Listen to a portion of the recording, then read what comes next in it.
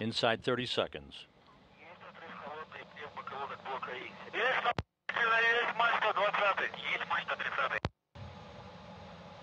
First umbilical has now been retracted. Standing by for main engine start.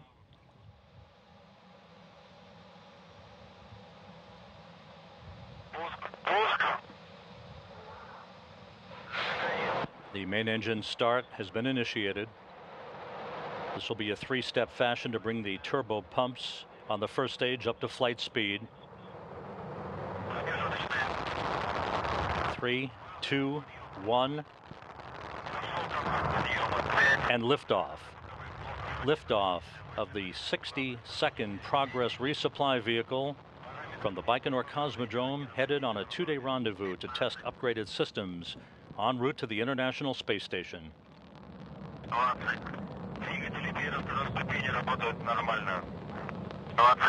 All the uh, first stage engines are reported to be functioning normally by the blockhouse in Baikonur 40 seconds into the flight.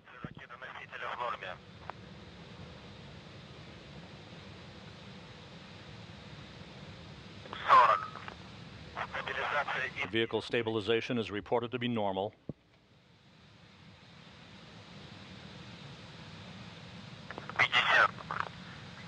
About one minute into the flight, uh, the Soyuz booster and the Progress resupply vehicle will go through the area of maximum dynamic pressure. Pitch, roll, and yaw, everything looking good on the vehicle. Passing now uh, through maximum dynamic pressure, going supersonic. One minute, 18 seconds into the flight.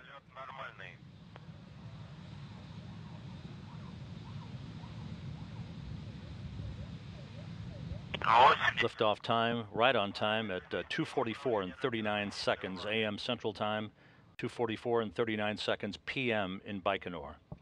90.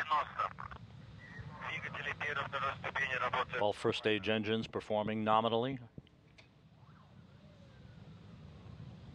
100. Параметры конструкции ракетоносителя в норме. Yaw, pitch, and roll of the vehicle all reported to be nominal from the blockhouse in Baikonur. First stage separation is now confirmed. The jettison of the four strap-on boosters on the Soyuz has been uh, completed. The Soyuz traveling at about 3,400 miles an hour. That's the Soyuz booster with the Progress uh, resupply vehicle on top. Standing by for the uh, jettisoning of the escape tower and the launch shroud around the Progress resupply craft itself. All parameters reported nominal. Good engine performance reported from the blockhouse in Baikonur. This is a view from uh, a balcony camera overlooking uh, the large International Space Station Flight Control Room at the Russian Mission Control Center in Korolyov.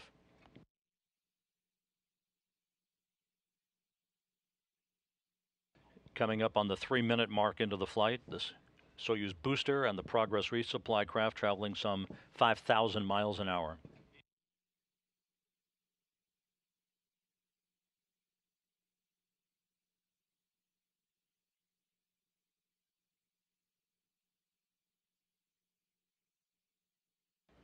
All of the structural parameters are normal on the launch vehicle, traveling right down the center line. Second stage uh, thrusters operating normally.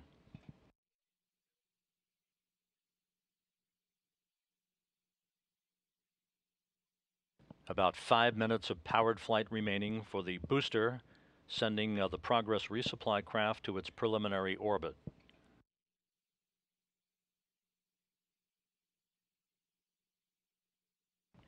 Coming up on the four minute mark into the flight.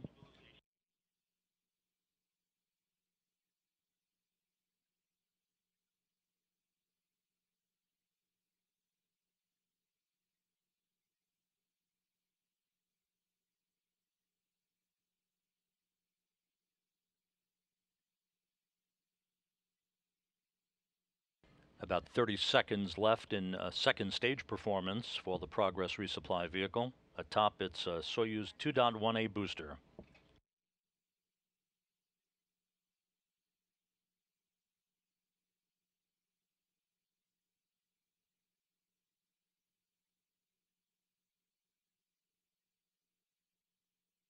Good control, good stability of the vehicle as it continues to head uphill.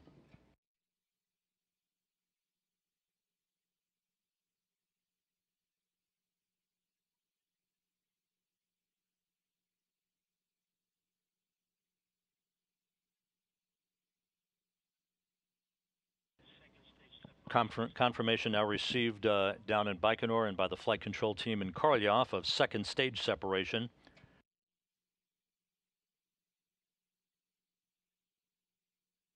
About three and a half minutes of powered flight remaining. Uh, the Progress now flying towards its preliminary orbit on the singular power of the third stage or upper stage engine on the Soyuz 2.1A booster.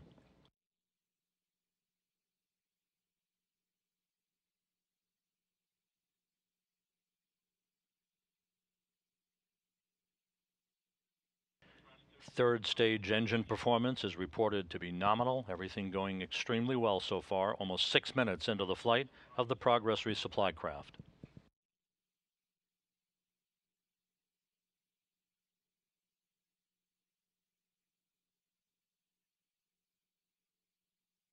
At the six minute mark, everything going by the book. Good uh, reports coming in from uh, the launch controllers in Baikonur. At the time of orbital insertion, uh, the flight uh, will be under the control of the flight control team in Korolyov. You're looking at a live picture from a balcony camera overlooking that cavernous flight control room.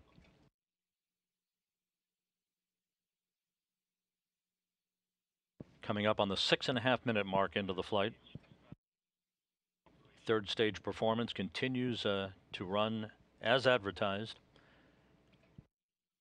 Third stage shutdown expected at the 8 minute 45 second mark, followed by spacecraft separation and the anticipated deployment of the solar arrays and the navigational antennas on the Progress vehicle.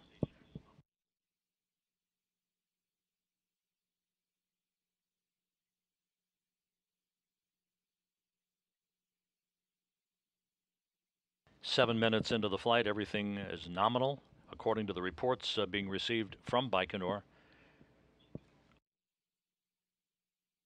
As the launch occurred, uh, our two spacewalkers for today, Scott Kelly and Tim Kopra, uh, completed uh, their suit up uh, procedures. They are in the equipment lock section of the Quest airlock, not uh, monitoring this activity at the moment. Uh, they have other things on their mind.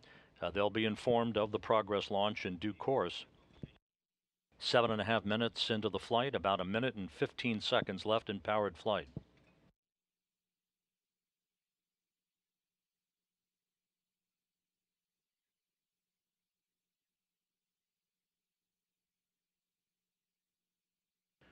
All uh, structural parameters normal, one minute of powered flight remaining.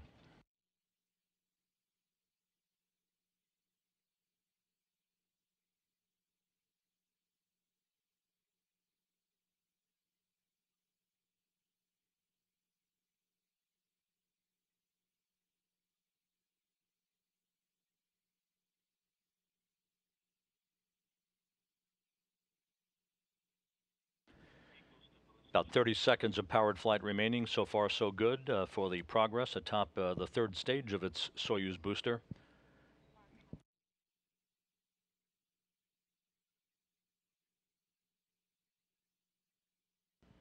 We're standing by now for third stage shutdown and spacecraft separation uh, about 10 seconds or so from now.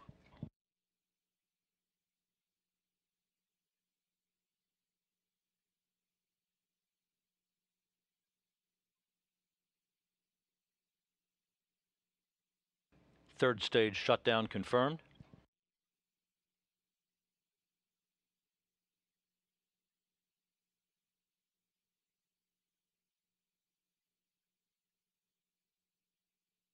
We have spacecraft separation confirmed, now standing by for solar array and navigational antenna deploy.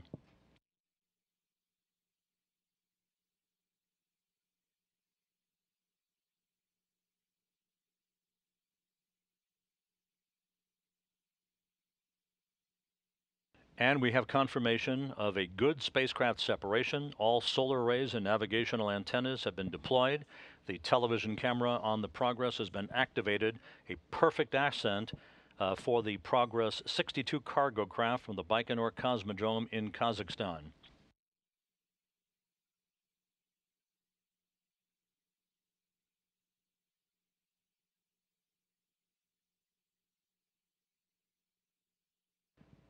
So to recap, uh, the launch occurred on time at 2:44 and 39 seconds a.m. Central Time.